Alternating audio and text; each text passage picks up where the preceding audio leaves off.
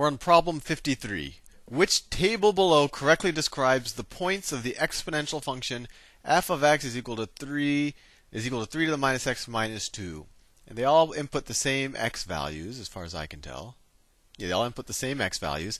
So let's just figure out which, which choice works. So if we take f of minus 2, that's the first one they give us in the order that f of minus 2, that is equal to 3, 3 to the minus x. Well, x is now minus 2, so the minus minus 2 minus 2.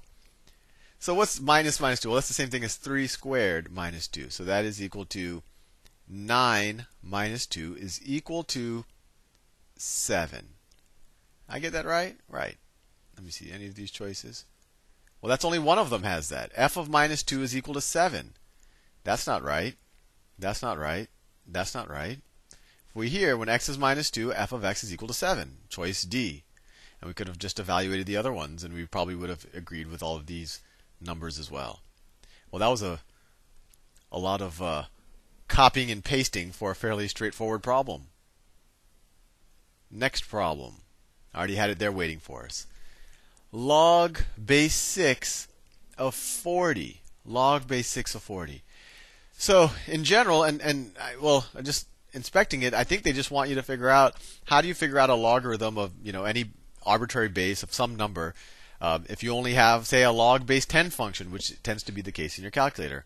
And I proved this in a Khan Academy video, but the general idea is if I have log base a of b, that this is equal to log base 10 of b divided by log base 10 of a. And actually, these both don't have to be 10. They just have to be the same base. 10 tends to be convenient. The other base that tends to be convenient is e. But anyway, let's use that property to solve this problem. So log base 6 of 40 is equal to log base 10 of 40 divided by log base 10 of 6, which is choice D. Choice D. Choice D. All right, next problem. Next problem. Copy and paste it. And just so you know, I don't like talking while I'm copying and pasting because I think it slows my computer down and then I start sounding like Optimus Prime.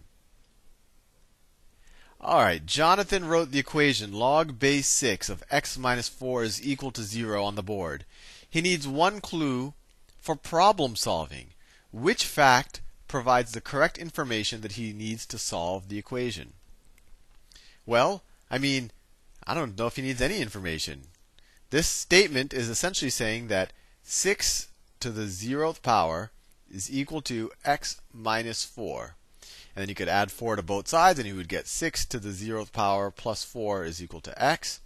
And I guess if he didn't know the definition already of 6 to the zeroth power, he would have to know that to know that it equals 1. So 1 plus 4 is equal to x, which is 5. So I guess he has to know that 6 to the zeroth power is a piece of information. But frankly, I mean, well, this one wouldn't have been useful, right? 6 to the first power is that's not even useful even if he didn't know it. 4 minus 4 isn't useful even if he didn't know it. But 6 minus 4, no, even that's not useful. Yeah, I guess, yes, choice A. He had to know 6 to the zeroth power is equal to 1. All right. Let's see, they have a couple of more. I'm going to copy and paste all of them at the same time. I'm getting bold. All right, look at that. Let me clear all of this. Image, clear image, image, invert colors, and I'm back in business. There you go. All right, I never know whether I should use a dark colored or light colored marker because if over here the light colored ones look good, but on the white the dark. So who knows? Magenta tends to be good, maybe purple. What is the value of log base 3 of 27? So that's just asking 3 to what power is equal to 27? 3 to the first is 3, 3 squared is 9, 3 to the third power is equal to 27. So log base 3 of 27 is equal to 3. They, I guess, just want you to know what the definition of a logarithm is in that question. I, am noticing that there isn't necessarily a progression of difficulty in the problem. They, they kind of flip between an easy one and a hard one, and Who knows? They're just a grab bag of questions. If log base 2, oh no, no, not log base 2. They're saying log of 2 is approximately equal to 0.301. And when people just write a log without a base, you usually assume it's base 10. And it's kind of like what you'd get in your calculator. If you just press log on your calculator, it's log base 10. So 10 to the 0.3 power is equal to 2. So if log base if log base 10 of 2 is approximately equal to 0.301 and log base 10 of 3 is approximately equal to 0.477, what is the approximate value of log of 72? Log of 72. So let's see. I think we got we just have to do some prime factorization here. So 72, that's equal to the log. Let's think about it. That's the log of. That's the log of. Let me think about it. This is uh, 36 times 2. Well, I don't know if that even helps us. Let me see. 3 to the th- 3 to the third. That's 27. No, I just want to make sure I get. This is 9 times. I want to make sure. 9 times 8. So this is log of 3 to the third times 2 squared. Is that right? Let me, let so this is log of 9. Oh no, no, I made a mistake. Ignore that.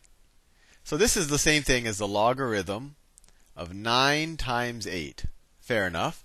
And so that's the same thing as the logarithm. Let's say the log of 9, log of 9, plus the log of 8 plus the log of 8.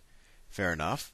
Well, that's the same thing as the log of 3 squared plus the log of 2 to the third, right? 2 to the third is equal to 8.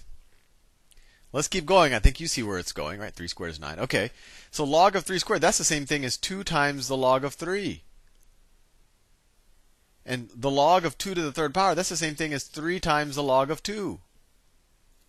And we know what the log of 3 is, and we know what the log of 2 is.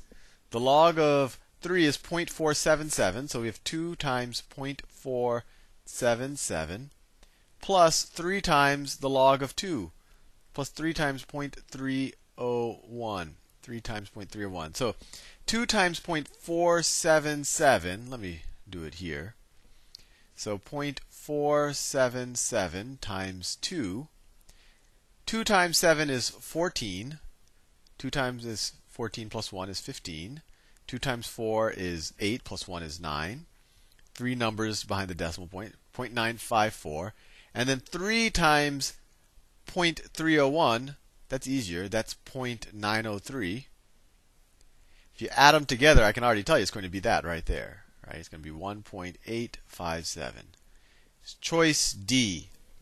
Problem 58 problem 58.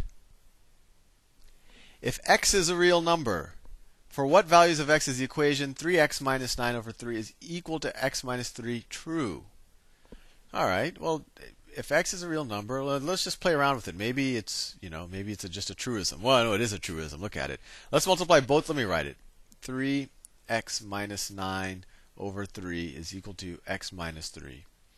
Let's multiply both sides of this equation by 3 you'll get 3x minus 9 is equal to 3x minus 9. So we could stop there. So if I take 3 times a number and subtract 9 from it, and if I said that's the same thing as taking 3 times a number and subtracting 9 from it, well then x could be any number. So it works for all values of x. All values of x. And you could keep solving this. Let's add 9 to both sides. You get 3x equal to 3x. Divide both sides by 3, you get x is equal to x. Well, that's true for any real number x. It's equal to itself. So that works for all numbers x. Let's see what else they have to throw at us. Let's see. All right. Let's do one more. So let me. I've copied, and now I have pasted. On a recent test, Jeremy wrote the equation x squared minus 16 divided by x minus 4 is equal to x plus 4. Which of the following statements is correct about the equation he wrote?